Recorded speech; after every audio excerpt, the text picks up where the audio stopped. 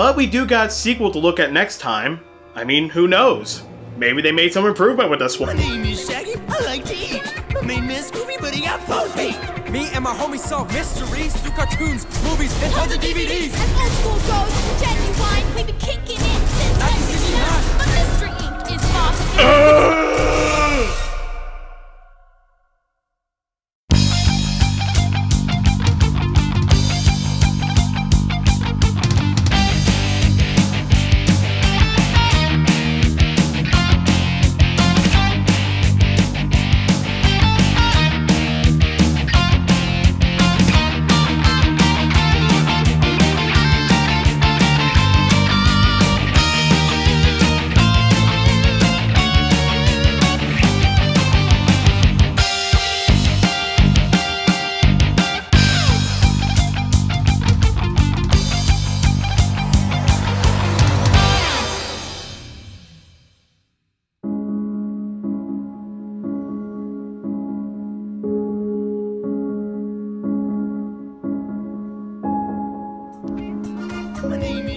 I like to eat. My name Scooby, but he got both feet. Me and my homies solve mysteries through cartoons, movies, and tons of DVDs. As old school goes, we're genuine, We've been kicking it since 1969. 1969. But Mystery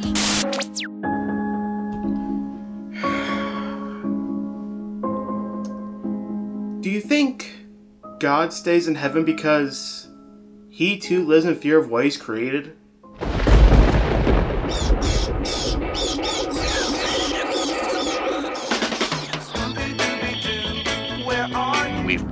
To have money.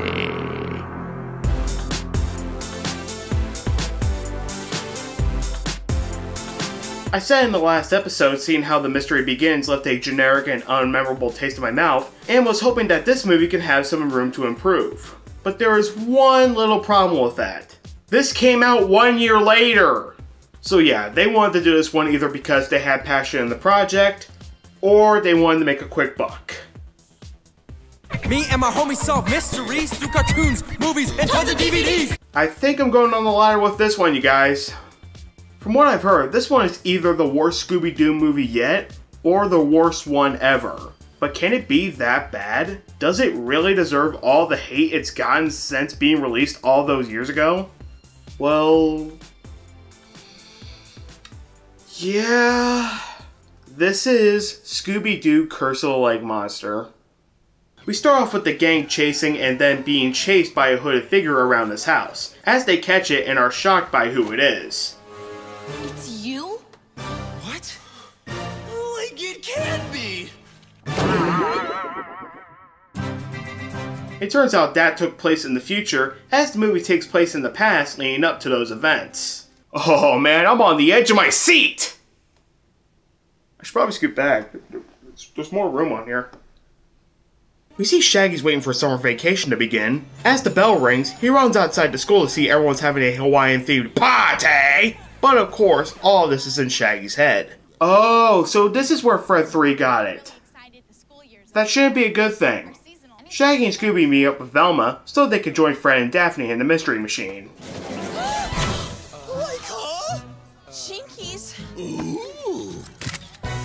Okay, there's something kind of creepy yet hilarious of Scooby taking that picture. Ooh. Gonna put this in the spank bank for later. you might be wondering how these two got together. Well, during one of their cases, Daphne fell out of a barn and landed in Fred's arms. That's it. It's literally love at first sight. The flashback in the first movie had a better explanation than this. They arrived at a summer job, which is working at a country club ran by Daphne's uncle. I guess he got tired of being friends with Louis Goldnick. Uncle Thorny, this is the gang. This is Shaggy, Hi, hi. Fred, Oh, oh. Velma, pleasure, and Scooby Doo. Nice to meet you, Uncle Thorny. Smile. You gotta love that everyone in this franchise's world is perfectly fine with a dog that can talk. Sure, it's normal for Scooby Doo, but in reality, I think this is how it would go down. Nice to meet you.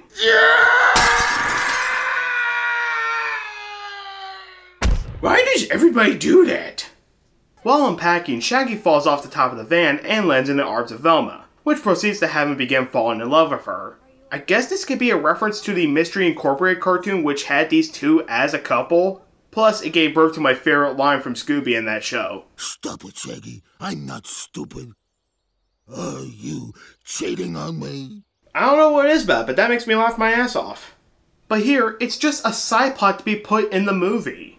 Anyway, Shaggy talks about being in love with Velma to Scooby as he gets this response. Do you think it's possible that. I don't know. That she and I are meant to be? Thanks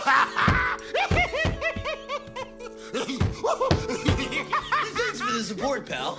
I'll remember this come flea season. Okay, I get it. He's laughing because he finds that really hard to believe. But the famous laugh we know of this dog is like three seconds long. Here, having him laugh almost like a human is pretty creepy.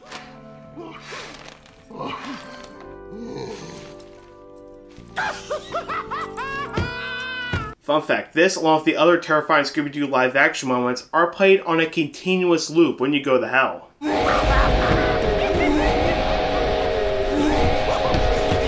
Shaggy meets up with Velma on the beach to try and express his emotions to her, but she's distracted after finding. a Chaos Emerald? Hey, find six more and we'll get a good Sonic the Hedgehog movie. Because right now, I mean, uh, what the shit is this? Later that night, the country club is having a little banquet when all of a sudden the power goes out, fog begins to enter the tent, as everyone sees the silhouette of. Gilman? Well, give it credit. Still looks better than the Rampage movie. That thing can't be real. Can it? I don't know, but I'm not getting close enough to find out. Hi.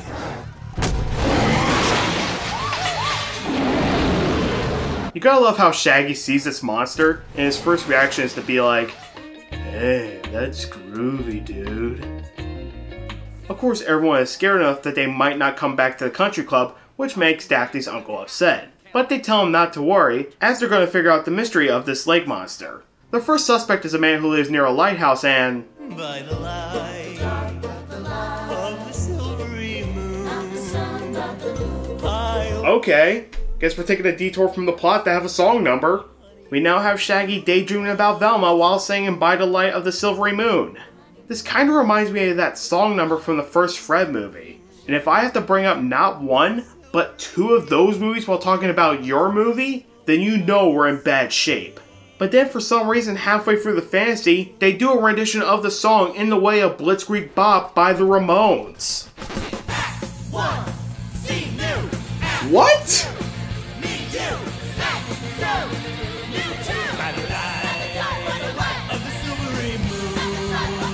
Okay, look. I already have one bad live action adaptation destroying one of my favorite songs. I don't need another! You know, I just realized something. So far, most of this movie seems to remind me of bad shit from other movies I've already talked about. Is it possible that this movie has some sort of evil power?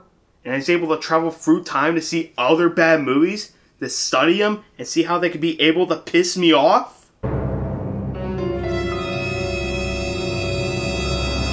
Nah, this movie's just shit. Getting back to the story, they seem to come across the lake monster. The effects budget really went down. Actually, it's a guy in a suit who scares people on the beach at night. Well, to be fair, he did scare people when living in Hell House. He invites them inside and tells them the story of a witch who claimed this land many years ago. You know, this backstory would be interesting if I wasn't thinking about watching The Witch's Ghost. It'd be much better viewing than this. I mean, it has Tim Curry. That man could do no wrong. And one day, she fulfilled her dark oath. Using her magical staff, she cast a spell upon an innocent creature of the lake. Or as anyone else would call it, a frog. So what I got from all of that is the witch warned people to stay off the land, then she cast a spell on a frog becoming Gilman, as it proceeds to go out and get those who did listen to our warning. Again, is it too late for me to start watching this? I mean, come on you guys. It has Tim Curry! The next day, the gang's going for security footage of the witch to see who it is, but the computer is fried due to Velma spilling her tea on it. Well, there's no way that she did it on purpose so that it could be a twist to make her a part of the villain's plan. Spoiler alert, that is totally the reason. Later that night, while making a snack with Scooby, Shaggy begins to smell the scent of Velma. Is that Eau de Dinkley I detect? Raggy? Raggy? Okay, even for this series, that's a new definition of weird. Velma! Uncle Joe? Buffy? Paul? Jim? Chief? McCloud? Velma, is that you?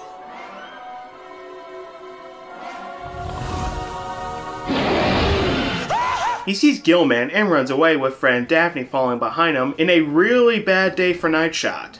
They split up with Scooby saving Shaggy on an ATV to only land in a sand trap, but they do find another one of those gems they found on the beach. Meanwhile, Fred and Daphne are hiding in a sports equipment store in disguises, which just so happens to be the old outfits from the cartoon. It's good to know that Levant is still losing the same mentality as the last movie. They'll meet up to see what Gilman has done to the country club as Daphne's uncle begins to fear for the worst. Canceled memberships and now all this damage. I hate to say it, I may have no choice but to shut this place down and go back to my life as an international playboy. You say that like it's a bad thing. The next day, they find Velma on the beach and notice that she has warts on her hands. So, her always disappearing when Gilman appears, waking up with no memory of the previous night, and now having warts on her hands? Yeah, nothing suspicious here. They begin to figure out more on the witch, but Shaggy finally has the guts to ask Velma out on a date. She accepts as they both meet up later that night. Good evening, Norville. Shaggy. Aren't you gonna say anything? I like corn dogs. Well, I've got to hand it to them. That might just be the dumbest line in the movie. Early in the movie, we see that Scooby has become jealous that Shaggy wants to spend more time with Velma rather than him, as we see him try to ruin their date. Scooby, get out of here, buddy. You're gonna ruin everything. No. Okay. But would you do it for uh, hmm, a Scooby snack? I can't be bought. Now you listen, Scoob. I'm the master, and I command you to go back to your room and quit being such a bad dog. Puppy loving. Regular. bad dog. Oh, I'll show you a bad dog.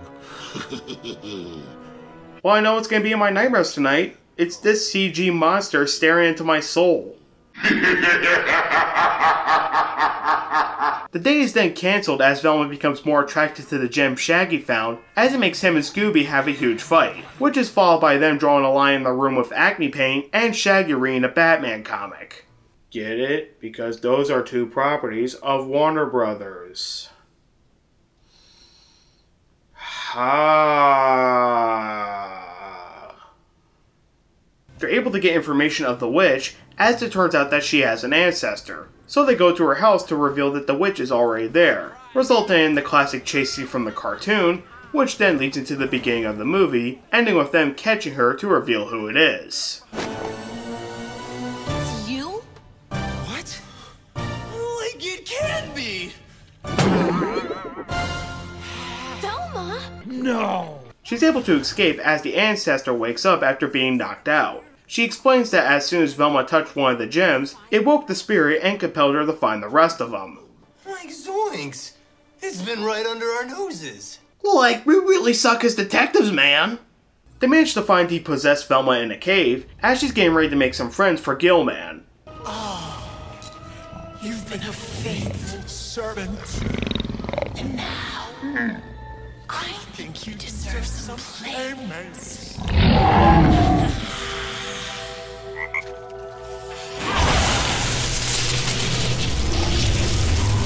Rise, my slithering slaves! Rise and serve your new master!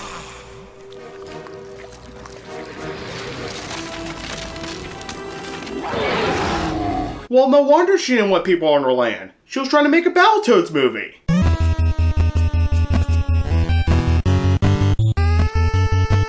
Shaggy tries to save Velma by making her cast the witch out, as the Frogmen are chasing Fred, Daphne, and Scooby. Run! Run!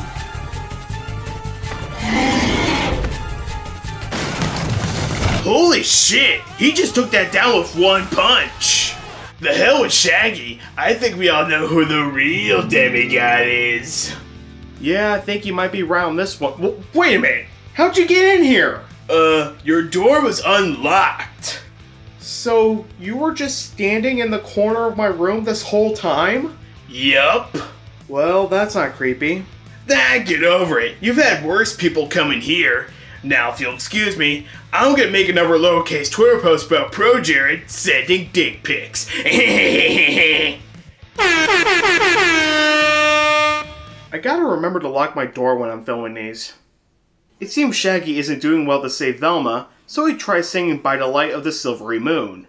Wait, why would that work if that was in his fantasy?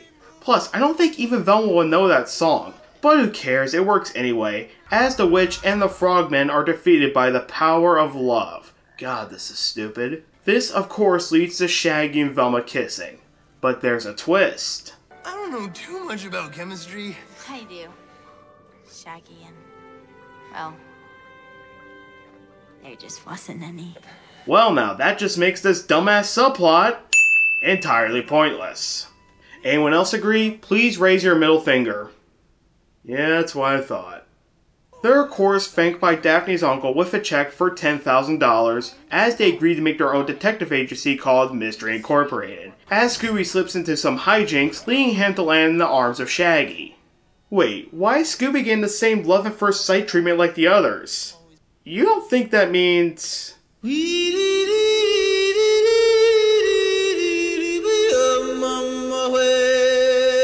Okay, well, to be fair, I would expect fanfiction of Shaggy and Scooby than I would of Shaggy and Velma. The movie ends with the gang singing a song in the way of many different genres, and I think you already know how I feel about this. Me and my homies solve mysteries through cartoons, movies, and tons of DVDs. As old school goes, we're genuine. We've been kicking it since 1969. 1969. But Mystery Inc. is Turn it up! Always more adventures. Turn me, Scooby-Doo!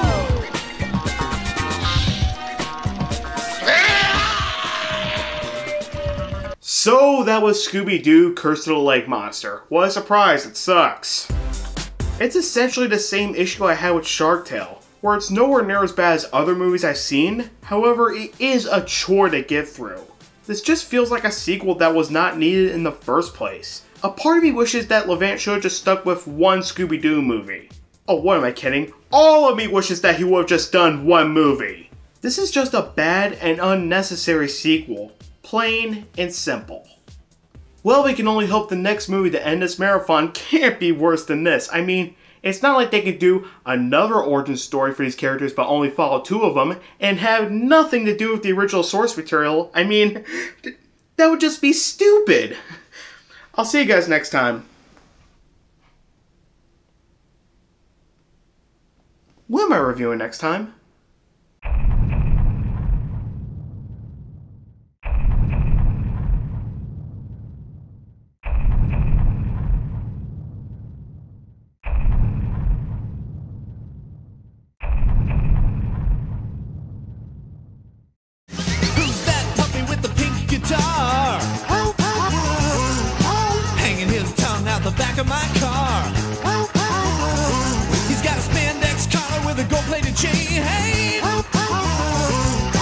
Well, that kooky canine's my main great dane. Rock and roll, Scooby-Doo. You make all the chicks go woo.